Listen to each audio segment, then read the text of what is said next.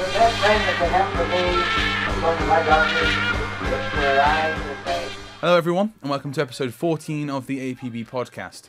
In this week's episode, we're going to be hearing from Kit Kat again, who's going to take us through some of the enforcer lore, uh, and we're going to be meeting characters like Mayor Jane Darren and the Praetorians. So, I guess without further ado, enjoy.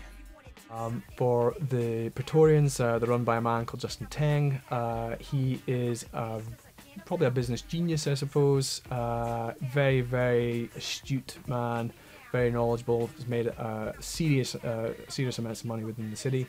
Uh, the Praetorians themselves are really, I suppose, it's almost like a kind of a corporate police force. They're backed by serious corporate money. They're very, very well equipped.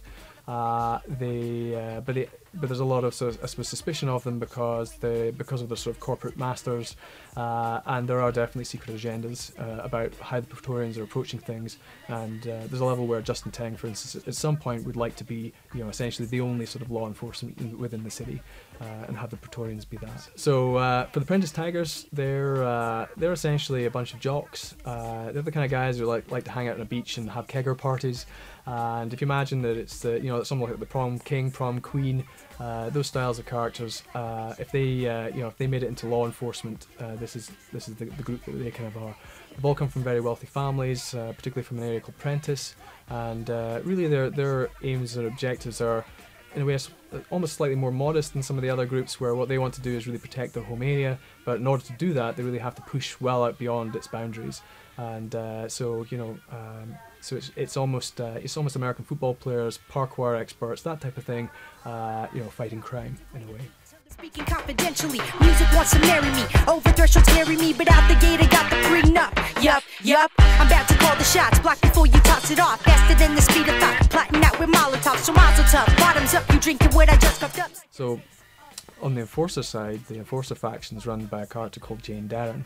Uh, quite a lot of the story begins with her father, John Darren, uh, about 15 to 20 years ago, something like that. And uh, he was the original mayor of San Paro. At the time that he was uh, in power, um, the the city itself was much more. Uh, it was more of a kind of a, I suppose, a sort of a, you know, a more of a kind of a prohibition style Chicago. At the time, there was a lot of crime families, crime bosses, uh, you know, a very corrupt police force, uh, that kind of thing. And uh, so he'd already been mayor for a little bit and was getting ready to put in, push through some reforms into his third term uh, when he essentially gets assassinated. And Jane Darren is there um, at uh, wit- and witnesses the whole thing. He's assassinated by somebody called Luke Wiskawi, and Luke Wiskawi is the head of the criminal faction. She decides to try and push some of these charities, ends up getting a few interviews. Uh, she's very, very sort of charismatic, very forceful individual. Uh, people start to listen to what it, what it is she has to say. Uh, there's a particular interview she has with uh, a, a sort of a representative of the mayor, where she basically uh, pounds him into the earth uh, in terms of you know coming up with some you know some some great and insightful things about San Paro. Uh, she starts to get noticed. Various people decide that, you know they'd be very keen for her to move into politics. Uh, she's quite young, so a lot of them would really see her, I suppose, as an opportunity to try and gain some power in San Paro, and she could be like a very convenient figurehead for doing that.